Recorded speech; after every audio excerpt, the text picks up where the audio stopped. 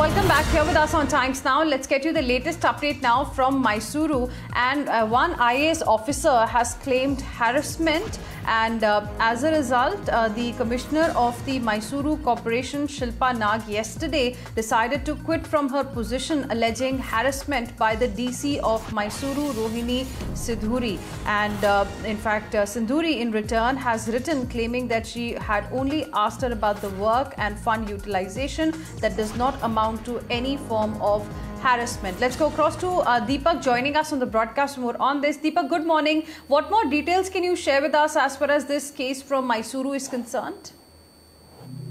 Well, uh, now the Mysuru DC, of course, has been in the news for the last few days. Just a few days ago, we had, uh, you know, the MP uh, Prathap Simha and, uh, you know, uh, uh, Rohini Sindhuri exchange a few words between each other over the issue of step-down hospitals now, now the question is whether this particular fallout uh, between the two officers, that is the Mysuru City uh, Commissioner and uh, the the district, uh, the Deputy Commissioner uh, Rohini Sindhuri, whether this issue is a fallout of that uh, political.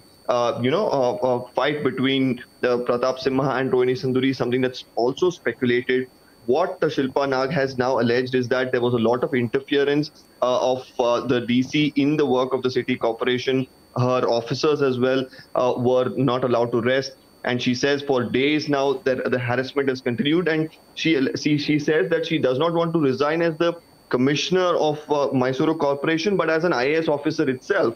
Uh, because of the kind of harassment that she is facing. She's written to the chief secretary. Right now, we'll really have to see what sort of response comes in from the chief secretary. But Rohini Sindhuri on her side has clearly mentioned that she has only asked her about the CSR fund usage. She has asked her about, uh, you know, the other work that needs to be carried out in the uh, city corporation because as a DC, she has to not just look at uh, you know, the taluks, but also the city corporation. And asking for accountability does not amount to harassment, is what she has mentioned in her letter as a reply and a rebuttal. All right. Thank you very much, Deepak, for the moment for joining us with all of those details. With this, we are going to slip into a very short break. More news and updates coming up on the other side as well on Morning News Hour. Stay with us.